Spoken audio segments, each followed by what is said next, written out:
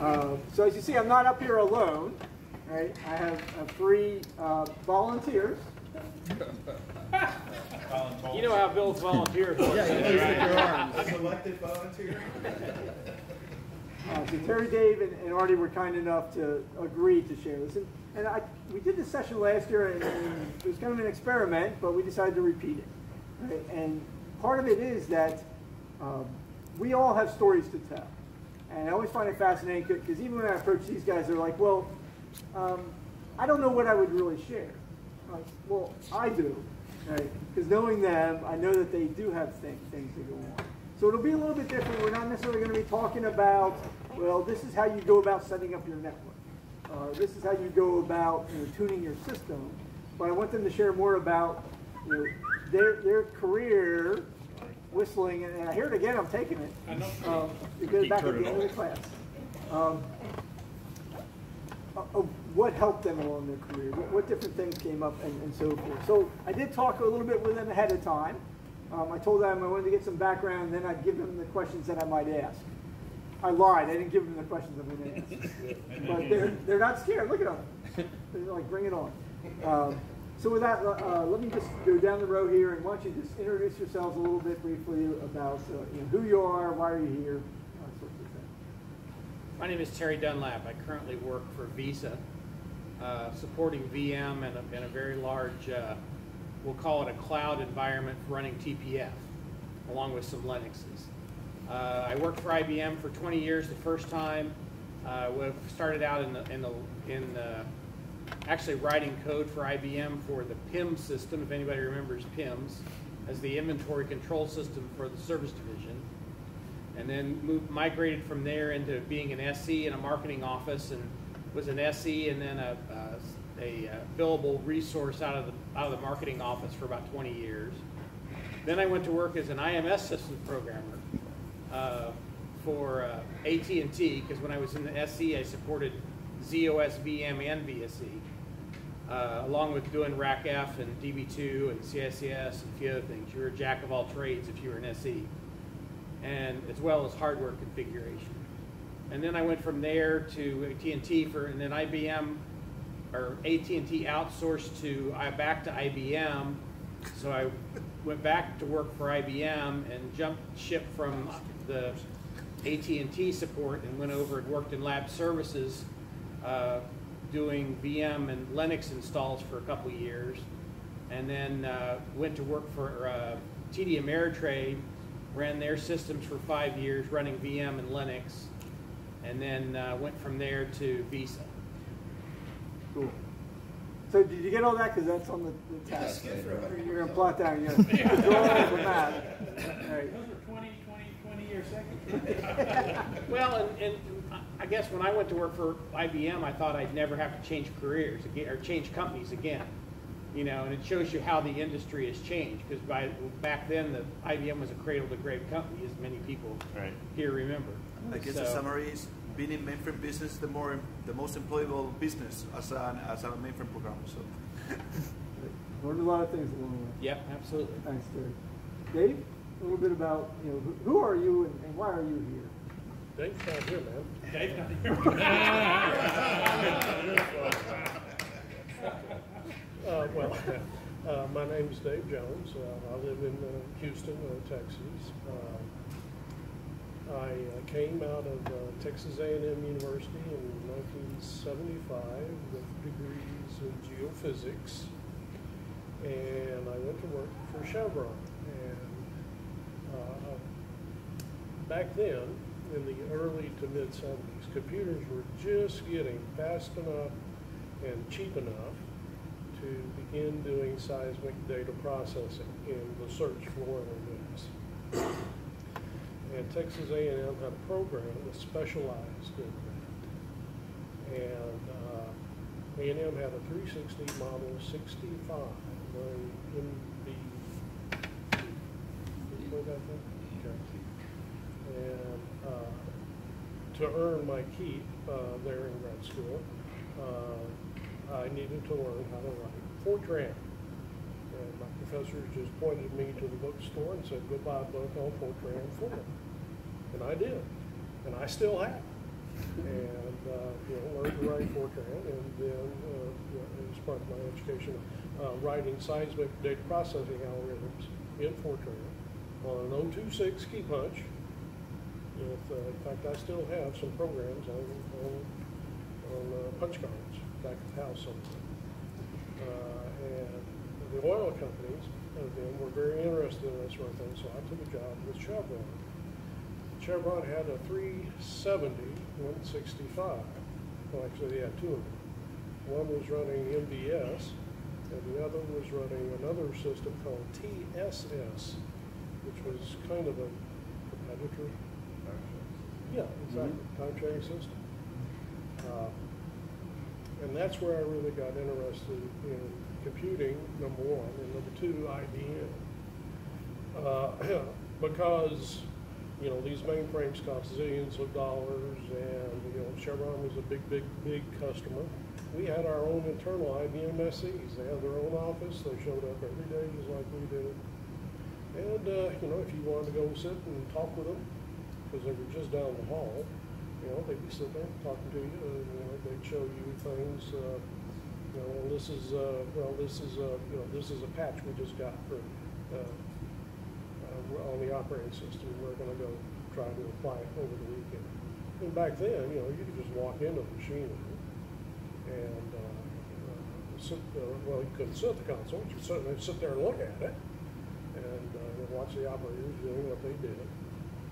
And, uh, that just got me even more and more interested. So, uh, after spending 20 years in the oil and gas business, uh, and getting laid off four times, none of which were my fault, uh, I decided I was going to switch and just become into the uh, uh, mainframe world. Because by then I was completely convinced that IBM knew what they were doing and that uh, you know, their products were better than anything else. And if nothing else, they were certainly better documented. Chevron had a 165, as I've said, but the bookshelf with all the manuals was at least 40 feet long. And one of the SE said one of the IBM design rules for building mainframes was the documentation had to equal the weight of the mainframe. and when it had that, they could ship it. Okay? Because everything, I mean, it was documented out for laws. You wanted to know the control blocks, it was. You know, you wanted, uh, uh, well, it was just extremely well documented. And uh, for somebody like myself, I'm self-taught. I never went to computer science class. Uh, you know, like I said, I was I had to learn Fortran. Well, here's the book. Okay. Uh, and then Chevron had some internal training courses uh, on, on computer architecture and uh, doing things. We had some IBM array processors. The first one was called the 2828. The second one was called the 3828. But they were built boxes to do uh, vector processing. And uh, after that, like I said, after that, I decided I would just go.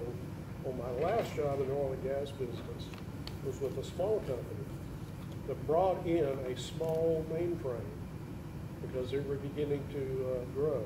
And the Intel boxes they had, this was in the mid 1985, 1986, they brought in a 9575 air-cooled CMOS processor. And they wanted something to run on it. And I said, you guys got to, there's this thing out there called VM. And it looks very, very friendly. Okay, no JCL, no ISPF, uh, that sort of thing. It looks like something we can get our hands around ourselves, be self-talk.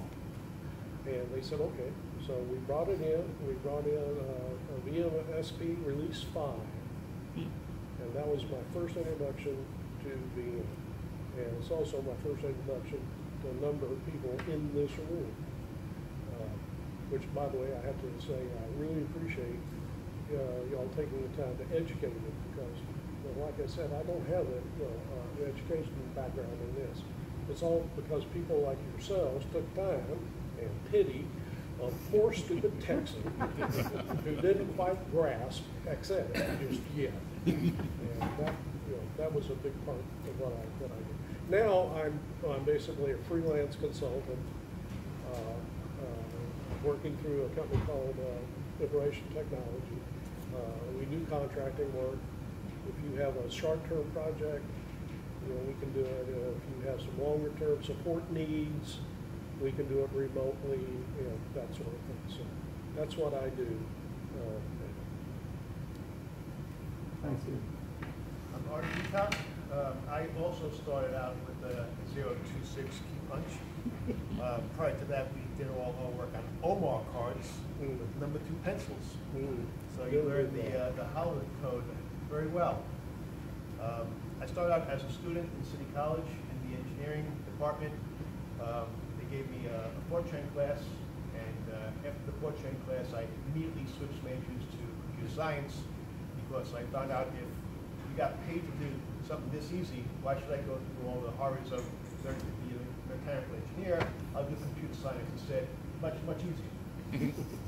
So that's what I did. Um, So our, the, the, the Trinity system is twenty-three schools uh, around the New York metropolitan area, and they have a central facility, used to be located in Midtown Manhattan at Fifty-seventh Street. And at that central facility, they had more than one key punch. The, the, uh, the schools had one, one or two key punches in the schools, so there's always a long line to get to the key punches. But the central facility had, had a large number of. So I would go down to the central facility to do my homework. And I would, you know, walk right up to a key punch, punch my deck, put it in, get my homework done, and leave. But I, I wound up spending so much time at the uh, central facility that, that they eventually hired me. Because I was there all the time, and I was answering questions of everyone else there uh, struggling with JCL. Back then, it was easy to be a, a JCL expert because there was only like three or four different types of, of JCL. You know, job, DD, and this and that, and that's it. Um, so it was a simple job, so, you know, easy to, easy for me to get hired. Um, so they hired me, and 38 years later, I, I haven't left yet. so I, I, I also do some freelance work. Um, I, uh, I help various government uh, and uh, local um, government agencies um, small odd, odd projects. But throughout my career, I've, I started my VM career on VM 370 Release 5 Basic Systems Extensions Program product. I think that's one of the longest uh, names of a, a VM system uh, that, that ever created. Um, I've been on every release since then. I've been on most of the ESPs uh, since SP1. Um, done a bunch of research projects with various places like Endicott, uh, Rome, T.J. Watson. Um, I was fortunate enough to be able to contribute some code to uh, VM and MVS, uh, REXX Sockets. So that's that's shipped with the product now. So that's that's that's kind of a nice honor that, that you know, my, my code is, is in there. And uh, I've just been doing this for a very long time, and it's just you know it's one of those easy jobs that that, that fit my temperament. So Cool, thanks, Arty. I, I I just think it's neat because there's this um, variety here in terms of, of Arty who, who's at the same spot like forever and then some, right? And, and Terry, you've moved around a lot. Dave, a, a complete career change in there. Uh, also, Dave kind of gave away a, secret there, right? So you thought we were making machines smaller. It's because we, we don't want to do as much documentation now. and so it, it works out. Right? Um, so a few, a few other things I want to get back to. Um, one for Dave. You told me something about, I believe it was Peru and a children's microscope um, and tapes. Oh, oh, well, in the, uh, well, obviously in the geophysics business, in the oil and gas business, oil and gas is never found just outside, oh, you know, London or New York or someplace where you can get a good hotel room. It's always found out in the middle of, you know, bum, whatchamacallit, West Texas or the jungles of Peru or Indonesia, what. Uh, back then, the, the data was recorded by, by the geophysical crews out in the field on nine-track tape, IBM tape. And, and a lot of the, well, these, these environments are pretty, uh, you know, the opposite of non-clean room. Uh, I'll tell you the snake story here in just a minute. Uh, so we would get in tapes, data tapes from you know wherever, uh, and the heads would be misaligned from in the in the field. So we had IBM engineers there that could change the head alignments on our 24 for the 2460s. What were the tech drives in? Reel to reel, on track. You were there. I 6250s. Oh, huh?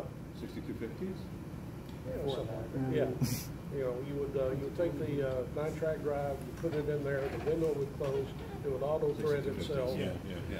Uh, yeah. Okay.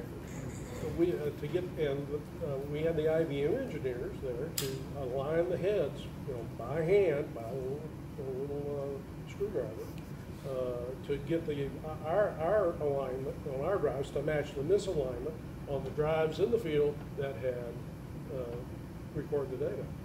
And back then, we were using sixty, uh, sixteen hundred BPI. Okay? One of our engineers took a little microscope and made a little gizmo that had round iron pilings in it. So he could put that thing over the tape, he could stretch the tape out, put the thing over it, and see the bands of the of the, uh, uh, magnetic recordings. So we could try to figure out which way is, uh, you know, how do we need to do. Sometimes we could actually read the data. All geophysical tapes are recorded in EBCDIC to this day, because it's an industry standard now. So EBCDIC is not going away anytime soon. Uh, But, yeah. Well, the snake story is, one of my buddies from A and M had gone to the field, because he liked to be out in the field. And he was in Peru, in the jungle, and they were recording away in the seismic truck, which is, uh, it's a truck that's got a little enclosure on it with the recording gear and all that. And uh, he's in there looking at the uh, data as it's coming in. And he goes outside, and he steps outside to go, uh, to go outside, you know, down a little ladder. And there's this boa constrictor on a stick, propped up against the side of the truck. Scared him to death. The natives, where they were working, thinks that seeing a boa constrictor is a sign of good luck, so they, they, they cut the limbs it was on off of the tree, and they brought it back to show the Americans that they were gonna have good luck. Yeah, so, that's my like. Um, Arty, you, you talked a little bit about, um, funny money and some things that were influenced by that in terms of tape mounts and stuff. Well, that was the, uh, the JCL experience. Um, I, I mentioned that I was um, hired as a uh, JCL expert, and again, it wasn't hard to be a JCL expert, but what I knew was a lot of things that uh, a lot of my compatriots didn't know. We were charged funny money whenever we, we ran jobs because they needed to do some kind of fake chargeback to allocate their resources. And we'd all get a little bit of funny money, and then, you know, you would get charged until it goes to zero, then you would beg for more funny money, and you'd continue. Well, tape mounts cost a dollar. Every time you did a tape mount, it cost a dollar.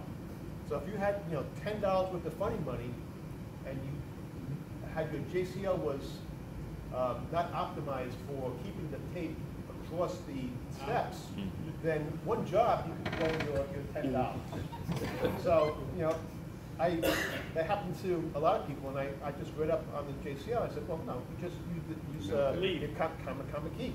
Key. Or, Lead. right, right, Yeah. there's all kinds of fancy Yeah. things you can do, so I learned that one parameter on, on a DD card, and boom, I was the expert, because I, I could run my, my job, cost me two bucks. Someone else runs their job, cost them twenty. So, it's the same job, but I kept my tape for all the, uh, all the job steps. So, that, that gave me, that helped build up my reputation as, as being the JCL guy. It was just, you know, out of necessity to, to keep from running out of funny money. You knew something that others didn't, and it was something that was valuable. Yeah, Right, and so you ended up being the man. and, and they hired me. Very good. So JCL is good for something. Got you. Got hired, yep, yep. And that was back in the day when the schools, there was actually classes that taught. I mean, there was act, an actual course that taught JCL in City College. Really? Yeah. Now we don't even teach COBOL, we don't, I don't think we even teach C. I I, I don't know what they teach these days, but it's, it's not mainframe related at all. Okay. So, Right. Um, so Terry, t- tell me a little bit about, if I recall, so you were in school and your professor kind of got you connected to some stuff at IBM. Um, that's how some things started for you? Well, I, I'm originally a business major. Um, and in the business school I was at at Indiana University, you had to take a concentration, like accounting or finance or something, as part of your business degree. Well, they were starting up a, they had a program there that was called quantitative business analysis, which was basically using a computer to solve business problems, which had to do with, you know, inventory control and, and things like that. Well, it turns out that IBM had a facility about uh, an hour from there, which was a repurposed card printing plant. When cards went away, this would have been in the in the late 70s, early 80s. When cards went away, they'd repurposed that as an inventory control site, and it and that was when IBM had busted up the company into three divisions in case they got caught in the um, yeah, the, the monopoly and get, get busted up like the antitrust, like AT&T did. So that was actually originally the OP inventory, national inventory control site. So by this point, the antitrust was over. They were starting to bring the company back together, but there was a bunch of inventory control stuff. But we, there was a group resident there that was doing the programming for the inventory control systems. And it turns out the, the manager there had a friend or somehow connected with my, one of my professors at IU who used to be an IBMer. And so instead of going through a formal process to, to hire interns, he went to the professor and said, recommend some of your best students and to, to, to come and uh, to interview for a position as an intern working in inventory control. It was kind of like a decision uh, sciences type department, research department. And so he, he set me up and I went and talked to them and, and uh, they hired me. So I, I uh, worked there my, the sun, uh, well, spring of my senior year. I took the semester off went to work for them. And then they asked me to stay on for the summer. And the, the person I'd been working directly under ended up transferring. And I, so I took over their responsibilities, rearranged my schedule so I could finish four days a week in the fall and come down and work one day a week. And then they hired me before I even graduated. So we have a Hoosier, an Aggie, and I don't know what CUNY's mascot is. I don't know. I don't know. Apparently, they're looking for a mascot. That's all right. Nobody, nobody knows what a Hoosier Arty- is. Well, I don't know what either. Hoosier is either. Right. Well, that explains why they've never won an NCAA football championship. So they're, they're, they're due. Um, David, tell, tell me a little bit more about, I, I thought it was interesting, this relationship you ended up having with the CEs that were there, and just sharing the information and the stuff that would go on, um, when you had that opportunity, because you are a self-learner kind of stuff, so having this kind of resource there, uh, before Google or Wikipedia. Well, uh, yeah, that was, uh, I, certainly think it was very beneficial to me. Uh, the two gentlemen there, and unfortunately I've long since forgotten their names, uh, they were just the nicest, down-to-earth people. You know, you could go in and, uh, you know, talk to them about anything, or they tell us, or they tell me, you know, something, they, rumors that they heard, well, IBM's gonna be coming out with, you know, some new, uh, new model on this, maybe, uh, you know, maybe, maybe virtual memory will be here. Uh, maybe we'll announce a one sixty-five and then immediately announce a virtual memory version of it to piss off the Chevron executives, which they did. Uh, uh, but, uh, they also had stuff that looked like to me to be magic, because this is not the, the 1975, 76, 77. The CEs had a little Motorola box, about yay by yay by yay. It had a little keyboard on it that could communicate uh, through radio some way to get parts. They could type in error messages from the console into this thing, and it would tell them where to go find the meaning of it. Now, this is 1976. That's magic, okay? Uh, wow, anybody that can have to do that, they would probably better stick around with these guys. So, and you know, if there was something about uh, MVS that I didn't quite understand, uh, you know, why were, why were we going to do it this way in the Fortran code instead of doing it this other way? Uh, you know, they could, well, we're gonna do it this way because the architecture of that machine says that, you know, certain things need to be double word aligned. That makes it go faster. The one thing you do in the oil and gas business is you go faster.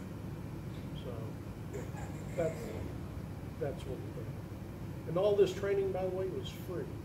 Red books, I'd never seen a red book. Oh, oh, yeah, here you go. Well, how much are you? No, they're free. And this was back then before you could download them. They actually ordered them from, what, Gibson? Wherever they came from, Mechanicsburg? Mechanics Yeah. Uh, you know, so, oh, well, here, you know, this is a red book written by so-and-so and so-and-so, you know, we'll help you out there. VSAM. We were looking into using VSAM as a access method to get the seismic data, which are just long vectors of binary floating point numbers, uh, you know, in and out, because a lot of times we have to, we have to get each of one, of, uh, each of these vectors in a certain order. Okay. And uh, we were looking into using VSAM to do that. I don't know what that is, that knows all this stuff, so, well, here's a red book. Probably- I I have the VSAM Red Book. I have that. So, This is a totally unplanned question now, it, it in my mind. So, so we'll start with Arty and we'll come back towards towards me. Um, what kind of collectibles do you have in your home or your office Oh left my over the years that, that pop out? Like when I said that, I'm sure something popped into each of your minds. I- I've got, I've got an off switch, red toggle off switch from a three seventy something or other, but it has that hard click. And we were, we were decommissioning it, and I asked the SC if I could have the switch, because I, I love that that solid click. And I had that on my desk at home, my home office. In my work office, I have a thirty-three thirty disc pack on the floor under my desk. And that is my footrest. I've had that thirty-two thirty under my desk for all these years, so it's a wonderful footrest. On the side of my uh, wall, I have a core plane from a 36050 LCS. You can actually see the little cores with the wires running through. And when we ever have young kids come in and they see, they see the core plane, they say, why do you have a, a sieve in your office? And I explain to them it's, it's core memory, and I explain the meaning of the word bit. Because the bits would actually flip from one side of a pair of wires to the other side of the pair of wires. And on a 36050 LCS, does anyone here remember LCS storage? No one? You could run a, LCS storage was a external storage for uh, a a 360, 370, I forgot. Um, But it was a- an extra box. Okay. And while you're running programs, if you put the ear next to the box, you could hear this, this kind of rain sound, with a- a Okay. whooshing rain sound. okay, yeah. And that was your program and the bits making the sound as they go, We had, we Yeah. had Cambridge memory on our, yeah, yeah, Yeah. Brand, Brand X. Yeah. But I, I have a core plane, actual core Okay. plane from, from the, from that computer on my, on my wall. So Very nice. Those, those are my, my, uh, only real collectibles. I don't All right. collect too much other junk. All right, I'll take your word for it. Some of it's very handy and useful. All right, now if we need one of those, I know where to go. How about you, Dave? Do you have anything? uh, Uh. The one great conflict I have with my wife is the fifty feet of bus and tag cable. Oh, I God. have in the garage. oh. Oh, Gray cable? Yep, very- Yeah. Great, Right. great. All right. Oh, You just tell her it's too heavy to move. I've got the blue, uh, ninety bucks a day, but not, not, not, not the full size. Well, you know, I hear in, in some countries, that's a sign of good luck, is to have a bucket tag hanging around. Some say steak, some So his name's bucket tag. They probably wait about it. You know, I used to have a lot of stuff. When I moved to Denver, Uh, I, I about three years ago, Mike, I, I, we made the effort to purge a lot of that stuff. I had one wall of the garage that was just bookshelves, and I had man because I supported VM, VSE, and MVS before the C, the CDs came out, and so I had a set. I had two bookshelves for MVS and one for VM and one for VSE in my garage, and then I also had another set of, of the critical manuals that I carried around with me. Um, I had a old Isuzu pickup truck, and I had a uh, car top carrier that I that set the back of the bed because I didn't have a cargo cover over it, and I had it full of boxes of manuals because when you ordered a, a new version of the of the operating system for a customer, you always ordered manuals, and if they said they didn't want them, then that was that was free freebies for us to have manuals so we could go from place to place. You never knew what manuals they'd have, so you carried them with you. Well, I had this whole thing full. It must have weighed three, four hundred pounds of manuals. And I came out one morning, and the car top carrier was gone. It was parked out on the street. Best I can figure, somebody thought it was full of tools. They were going to make a whole bunch of money. They picked the whole car top carrier up and, and stole it. And I always wanted to see the look on their face when they opened that up, and it was full IBM manual. But I never found out what happened. to it. I didn't see that coming. So it's not a gun rack, it's like a manual rack. a Yeah. Maybe if I was full of guns. Um, so, so um, Dave mentioning the CEs and parts and ordering parts and stuff reminded me of, of Terry. You had been involved with I think it was the 3090 family when, when they were trying to figure out um, when that was launching parts and how many parts and stuff would be needed. Am I remember that correctly, or help me out with that? Long story short, we actually, my department actually delayed the shipment of the 390 because the, we would not agree to the amount of inventory money they would give us for parts. And the story behind that is that the marketing or, or the plant would say, well, this is how much we think you need to have the, the part, the, the, to keep card on board, which is the cards that were right there on site hours away when the 3090 was coming out. And so being in this operations research group, we were asked to try to figure out if that was the right amount of money or not. Well, we had developed these algorithms on, on, on figuring out how to determine where the stocking location should be for all the parts in the, in the company for different machine types. And so we took the install base for the 3080s and we ran a random number generator at it to, uh, to, to determine where the machines might end up in a scattergram across the country. And this is in 1985, 86. So you can imagine, I mean, we didn't have big, you know, this was all numerical. There wasn't any graphics at all. But we, so we figured out where all these were going to be and how, where we'd have to place parts to support that over the next year or two, um, and basically determined that they had under under budgeted us by uh, fifty percent on how much money we'd need to keep the inventory that was needed, and so we we kind of stalled the uh, shipment of the 390 until they agreed to give us enough uh, money to, to to stock the inventory they wanted in order to have the two-hour, one-hour, and on-site cards. So I'm dealing with the whole meantime between failure and what was going on there, and, and some parts were a little bit bigger back then, and, and Yeah. so that, that's kind of neat. Well- It's stuff that I never thought about. I don't know, parts just show up. What the heck? Well, the whole PIP system, there was, let's see, there was, there was uh, three national stocking locations for different inventory of parts.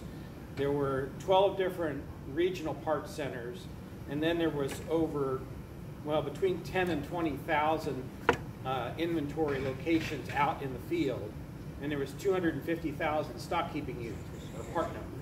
So that's what what the, the programs that we wrote were managing at that time. Cool. All right, so uh, let's shift gears a little bit and talk about code. So, is there anybody here on the panel that has modified one of the DMK modules? All right, let's hear some stories, boys. Oh, uh, Terry, you want to go first or Arty? I, I know, I know old, Arty. So, uh, yeah, we'll be here all day. Well, so, um, let me think about, was there one dealing with multiple processors? There was one dealing with uh, um, virtual, virtual equals real recovery. Recovery, okay. Uh, Virtual equals real, it's when the MVS guest assumed uh, control of the entire complex. Uh, In the event of a VM failure and you're running a- a MVS guest, uh, to preserve the MVS guest, there was this feature that you could run on VM where the MVS guest would assume control of the whole processor. Um, But I found a, a case where on a, on a multiprocessor where it didn't work. It was on the wrong side of the multiprocessor, it would put, it would put, um, one of the processors was sleeping and needed to be woken up. It was basically missing a signal processor. It was missing one instruction to make the whole thing work in this weird configuration. And I was telling, telling uh, Bill, you know, one of the reasons why I got into VM in the first place, I was learning assembler in, in college, and we only were, uh, taught the, uh, the, the non-privileged instructions. But there was a whole set of supervised instructions that, you know, hey, you know, I want to learn those too. Well, you can't run those on MVS. I go, well, why not? And, you know, they go into this whole thing, well, you need to be in supervisor state. Well, well, I want to be in supervisor state. So that's, that's how I found VM. And, you know, in VM, you know, you start writing instructions, start using uh, start.io, load PSW, all those other cool instructions, but never a signal processor. so, well, not until recently. um, not back then, at least. But uh, this particular DMK module, I, I added that one instruction, and it made equals Y recovery work. But um, that's interesting. I mean, how many people here have, have coded a, a SIG-P? Really? I would expect Neil to raise his hand, but uh, there you go. Yeah, so some people collect baseball cards, Arty collects, you know, opcodes. and- No, it's, you know, when you're learning a, a language, you like to learn the whole language, right? Yeah, so, so that's one little bit of a tangent, but, um, you know, riding down here in the car with Gonzalo, um, who English is not his first language, I'm just was still amazed at, at how much he can speak. And so I started thinking about, you know, how many words do you really need to know in a language to be considered fluent? And so, how many different instructions in an architecture do you need to know to be considered fluent? uh, in- Well, I, in I was the- very passionate about assembly. Right. Right, so if you want to try, try everything. Right. So, I, I, and I did. I'm glad you did. So, Terry, you had talked about also, uh, Well, most of them, I, I never really, I never modified the mo, the, uh, the modules, the DMK module on the system that was in storage or in, on, on disk. I, we, we might have tweaked the ones that were actually running a couple times. Um, you remember PSRs? Well, then they did away with the PSRs, and then they had something called the Ops SEs. Well, I was wasn't old enough to be a PSR, but I ended up being an Ops SE. And so sometimes people, customers' computers would get sick, and they wouldn't want to bring them down, and so we would look at the the the actual assembler code and determine what the difference was between the, there might be a you know a few bit few bytes difference in the instructions and we would actually go in and, and store the changed instruction on a running system so they wouldn't have to bring it down.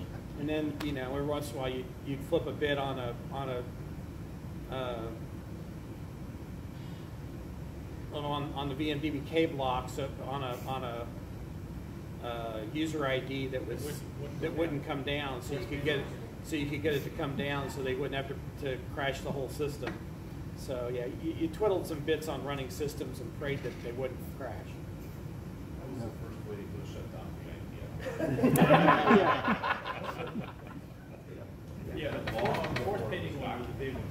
So let me remind people, they are trained professionals. Do not do this at home. So, so Terry, with, with that, you talked about, you, you went to dump school, is that correct? Or Well, what, we- what we yeah. somewhat call dump school, back, back then in the day of learning how to really do problem information, and that was a big thing for the, the folks helping the people in the field. Well, I went, I was, I, well, I went through the full SE training. Full training was a year's worth of education.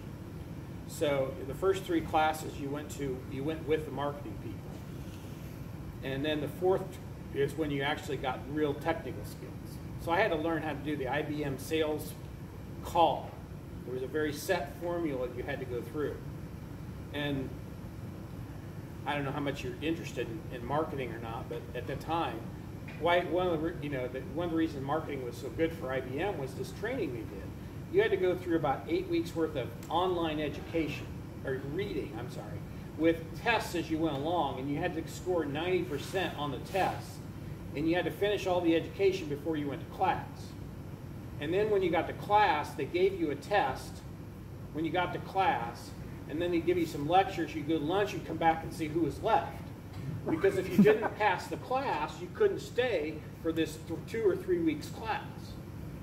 And, the, and there was four of these different classes you had to go through. And the fourth one was for just for the SEs. It was a four-week class. These were done in Dallas, and and you had uh, they basically gave you tapes, and you had a, a, a vanilla machine and manuals, and you would have lab. You had lectures in the morning, and you and you had a two-hour lab window every other day, and by the end of class, you had to have you had to create.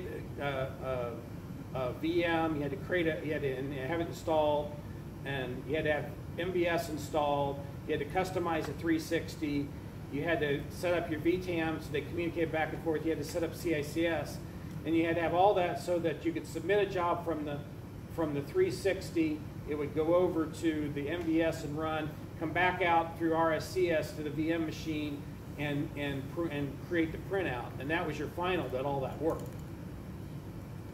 So the education was, was pretty crazy. But then after that, then I went to dump school. So you would go and just spend time, they would actually spend time teaching you, the control blocks. And then they'd hand you dumps and say, figure out what happened. So I did that for CICS and VSE. And so it was an interesting way to learn how to, to, to do those kinds of things. Now I work with the guy who was doing a lot of that too. His name's Lee Stewart he tells a story about going to some place in I don't know some secure site someplace back in the 70s to pick up a dump right after he got hired, and it was it was they had to go through the dump with a a uh, exacto knife and take out the the pieces that were secure, and it looked like a piece of Swiss cheese when he got it, because it, they had to take all the data portions out and just leave the, the instruction sets. But imagine doing that on a dump, on a paper dump, before you could, it was this thick before you could get it. Just mm. amazing. The things that got done back in those days, and we still managed to get anything done. So is there any truth that the, the show Survivor is based off of this original school? Well, it was it was an interesting school. It was it was certainly a, a challenge, especially when you had these. I mean, you you learned how to plan out. You know, today we you know we're used to, you know, you've got a two-hour or four-hour maintenance window or something. You you learned that you planned out what you were going to do, and you had a very specific plan because you only had those two hours, maybe twice or three times a week, and you had to get all that done in, in that time frame. So it was great training, but it was it was a- it was a- it was pretty intense. Cool. All right, let's, uh, I mentioned languages earlier. Let's talk a little bit about languages. So, um, Dave, what, what did you ask me to ask Reed Mullen? I want the latest PL1 compiler under CMS. I've Wanted it for 40 years, and I haven't gotten it. So tell me about your uh, introduction to PL1 and your love. Well, it- this goes back to when I was in grad school at, at A and M, and you know, Fortran I thought was you know, okay. This this is pretty good stuff. Uh, but then IBM was having a big push back then for this new language that they'd come out with, with PL one. And uh, they, uh, IBM would send an IBMer to talk about to just about anybody that said, hey, yeah, we want to learn about it. And somebody at A&M had an IBMer come up to give an introduction to it, and I went. And I thought, hmm, that looks pretty dang interesting. It kind of does all the hard parts for me and leaves the easy parts for me to do. Okay, you want to write a string on the printer, you know, on the line printer, well, you know, okay, so just declare X, uh, you know, care percent, uh, parentheses, two fifty varying, if you wanted a varying rate. You know, Fortran, that was a giant, uh, big mess. And, and, you know, of course, you know, back then, all the software was free. So, oh, yeah, sure, we'll. And when I was doing my thesis, uh, I decided to do it in PL1. And I really, really, really liked it. And uh, in fact, it's still my favorite compiled language. And practically everything that's come since has been, in my opinion, a step backward. But, you know, that's just me. I, I could write this thing, uh, you know, like uh, on storage. You know, if we ran out of storage, okay, here's a begin block, and I can take control of that. Okay, well, that was the compilers that were available back then. And the only compiler IBM supports today under CMS is the very old OS and VM optimizer compiler. And it's, it's okay, it's, it works, it works good. Uh, but the one that they have under z/OS now is very much uh, evolved. Has a lot of new features in it, uh, a lot of new support for new paragraph, uh, you know, paradigms of programming, uh, that sort of thing. It Has support for packages, and I would dearly love to see that available, since I was told at one time that the developers of that use CMS as the development environment, so it's actually running. Yeah. Uh, but they just don't want to support it. Well, Reed said he's gonna look into it, but, Yeah, yeah, no sure. promises. Always. So, uh, Arty, how about you? What, do you have a language of choice? Uh, it- It's always assembly. Or is it That's- some- I, I mean, it, it depends on the task. I, I, these days I tend to do a lot of um, firefighting and fixing broken things. So I, I normally fix things in the language they've broken. Okay. So you, Okay. you s- s- wind up collecting a bunch of languages in your back pocket so that you know how to Right. fix them. But my, my go-to language is, you know, pretty much assembler.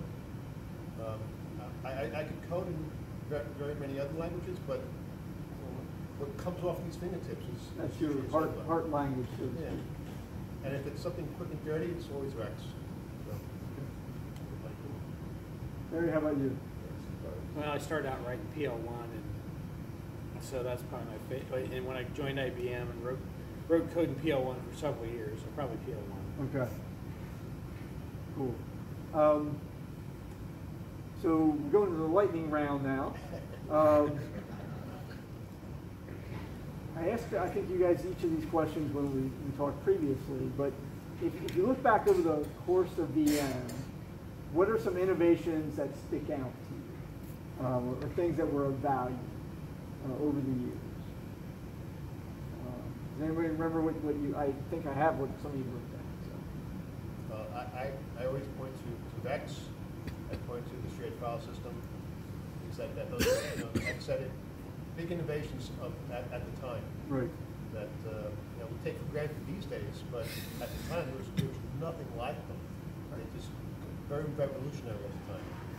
Yeah, I'm, I'm trying to remember, you, you had talked about when you first saw REXX, the feeling that overcame you. Oh, and I was, I was struggling with exec two, as, as most of you remember exec two struggled with trying to do anything useful in exec two. You'd be, be very fancy, you'd be very proud of yourself, but then you'd feel dirty afterwards. No, it's, that's, that's kind of true, right? Um, but with REXX, I was introduced to REXX because I was on a, uh, a, a, joint study with probably, um, Yorktown or something. And they gave me a, a RDX module uh, for CMS two. And it wasn't available in CMS two, but it said REXX I. you get the, uh, NuGet, it would NUCXLOAD the interpreter, and then you can start coding REXX. And, uh, that, that was just fantastic. The whole world opened up, because, you know, all of a sudden, you didn't have to do exec2 anymore. You could code a, a rational language and get things done, so that was, that was fantastic. It's like the end of Wizard of Oz where things come up in color. Color. Exactly. Same thing with, with, I told you the story about SFS. Um, it wasn't, we were running HPO five at the time, and SFS came out in SP six, and it wasn't available in HPO five. So I, I- I made it available in HPO five. I, I, I, I uh, refitted the, uh, the DMK modules at the time, uh, from SP six to, to HPO five. And I had SP, I had SFS running under, under HPO five, because I, I wanted it. You don't own it until you void the warranty. Well, we never ran, it. we never, wasn't going to be. yeah, we never ran HPO six. We, uh, wasn't going to be. we went from HPO five to the migration thing. Oh, yeah. Oh, doesn't? Hmm? So, so how about you, Terry? Were there things that, that stood out to you? Well, I was being an SE at the time, so I didn't have a lot of time to do coding, but I think VM was really the, the, the precursor to the open community that you see today, the open development community. Since they, since they shipped the source to the, the, the out, then, then people like you in this room would, would go in there and start messing around with things and also start creating things that you needed or wanted. You know, I- We'd fix things that were broken and give, Yeah. I- we would give IBM the fix. Yeah, and I, I mean, you know, and they really kept IBM in the, in the game, mainframe game in some areas, like the TCP/IP. I mean, that was all written on VM by somebody who just wanted to be able to do it, and then it eventually got ported to, to MVS because they needed something to get it on the platform, and then, you know, how many years later, they finally rewrote it. But, you know, it, it was a, it was a development platform that, that allowed a, a lot of innovation on the mainframe for new things that came on that IBM hadn't put anything into yet. You forgot to mention which language it was written in. Pascal. Pascal? Pascal, that's true. Another one. Dave, how, how about you? You had mentioned a few things that, that, that jumped out. Well, Um, uh, obviously, uh, uh, well, REXX, obviously. But since I came to VM so late in the game compared to these two gentlemen, you know, I always have REXX, because my first one was VMSP Release Five. And, uh, and then the very next release that next year was we got SFS, which, oh, great, this is really good. But, you know, you can't forget CMS pipelines. Mhm. Yeah. Or Rex Edit. I mentioned it. Yeah, you did, yeah. Are you? Um, well, we, we talked about community, and, and Dave, I know um, you're a knight of VM, and, and if I recall, your title is Sir Dave the Generous, um, which I think is good because you are one of those people that whenever somebody has a problem, you know, you, you're on the mailing list quite a bit, helping out in different things. So, so I appreciate that. My Um, answer is always RTFL. read, the manual. I read the book, so you might as well read the book. you're Um, talk, just talk briefly about um, how the community welcomed you and, and how you you talked a little bit about paying back. Uh, Well, it all goes, it all goes back to the fact that I entered this kind of through the back door. I'm self-taught. I got interested in this because I worked at an oil company that had an IBM mainframe, and some SEs there were, you know, willing to defend me and show me how things worked, which led to more interest and that sort of, uh, that sort of thing. And then when I was working in my last job in the oil and gas industry with Z, with VM, VMSP, I found this thing called VM Share. And uh, go out there and. And I was, back then, I was going fairly regularly to Share. Uh, and I started to meet people, a number of which are in this room right now, and they were all very welcoming. Oh, hi, yeah, yeah, oh, you're interested in being, oh, yeah, come over here to this table. You know, You've got to meet all these people. Right, yeah, yeah, you know, follow the bear. Got it. Uh, and it was that attitude. uh, Compared to some, uh, some professional, uh, instances I've had where that was not the attitude. Uh, this one, well, there was a time in my career when, when I really tried to get into Unix. Okay, and I was flatly told by some people that there's clearly no room in, in Unix for people like yourself.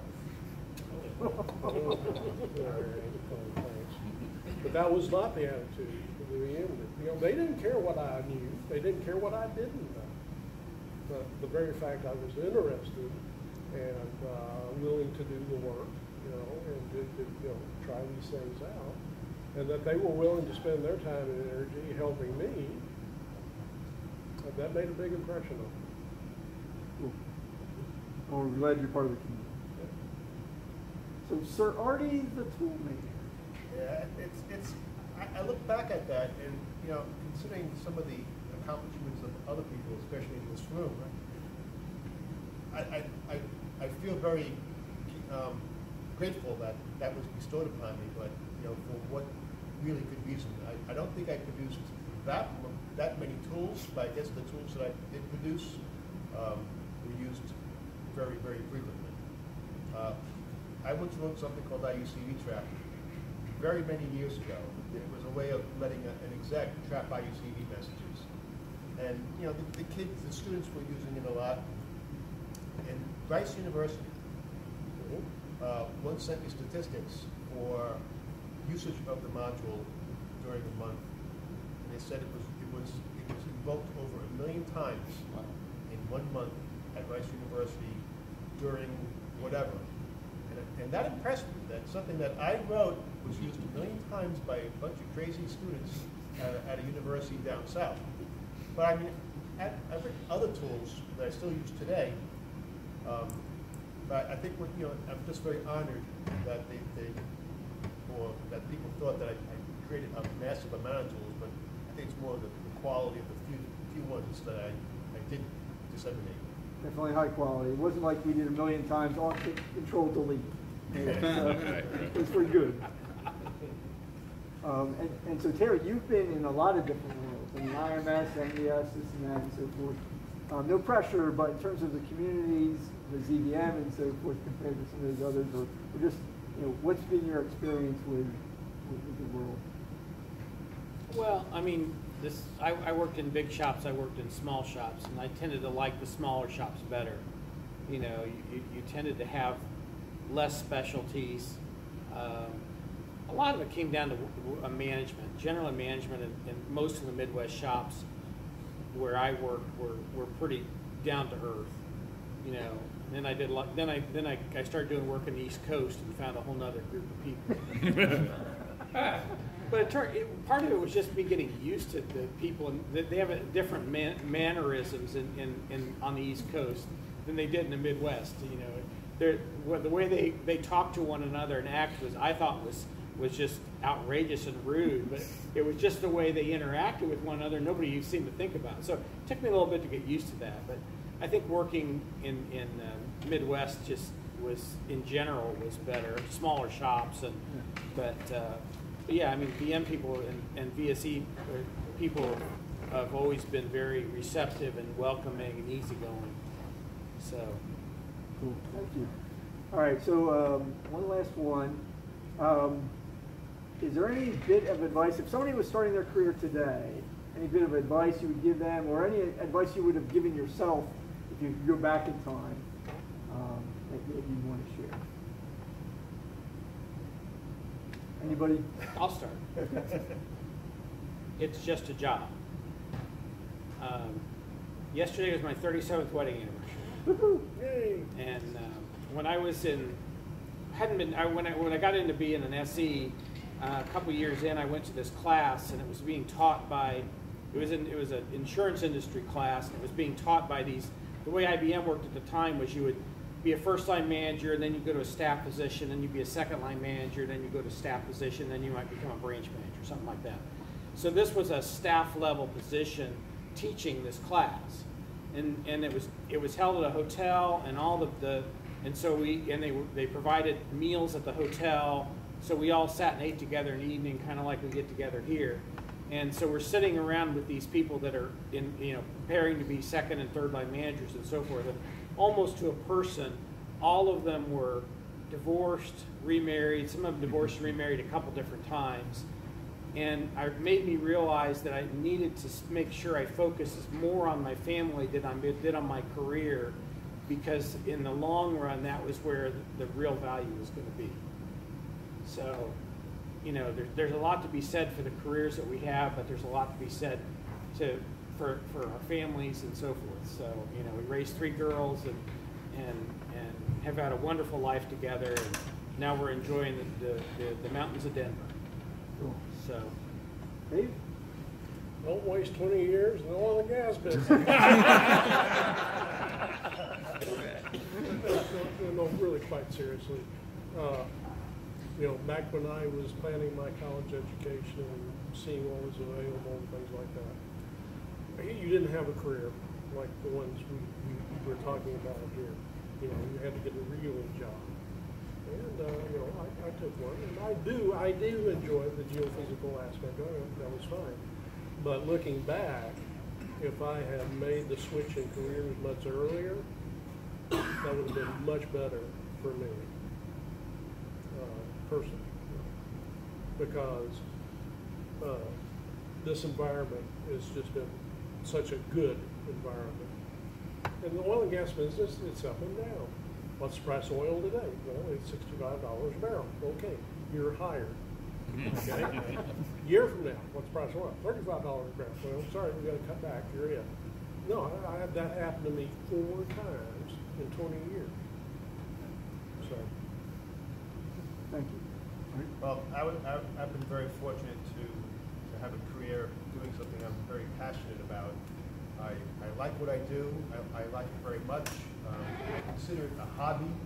Um, I've been doing this for many years. I'm getting paid to do my hobby. I mean, I'm just very, very fortunate. So I, I would say to young people, just do, follow your passion. Do what you're passionate about. Try to find a job where they'll pay you to do something that, that you love to do. I, I just got lucky. Nice. All right, well, uh, I think we're out of time here, we're probably past due, but thank you all uh, for joining us. If you join me in, in thanking my, my crew up here, my couple gentlemen. Um, So thank you guys very much for that. Um,